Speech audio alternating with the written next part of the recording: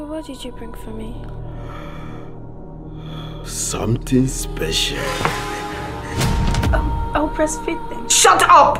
No, Name nwa abụrụ na mụ na Stop! How old were you when you heard her?